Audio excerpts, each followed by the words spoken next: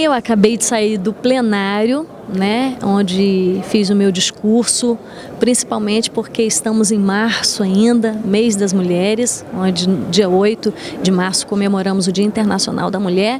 E quero mostrar minha preocupação, na verdade, né, é, da, grande, da grande violência contra as mulheres, sendo que no meu estado, meu estado Espírito Santo, onde está o índice maior de violência contra as mulheres. Então é preocupante, é preocupante e a gente pede socorro ao governo porque eles jogam é, é, é, é para os braços da, da, da segurança pública, mas nós queremos uma atenção maior, uma atenção maior. Ontem estivemos com a Dilma e ela disse, e a gente fica torcendo para, isso, para que isso aconteça com, com muita urgência, onde ela vai estar implantando o programa Casa da Mulher em cada estado brasileiro. Então, Tomara que este programa venha realmente atender, socorrer as, as mulheres violentadas, porque nós as mulheres violentadas, porque nós precisamos realmente de programas que venham atender com com muito mais atenção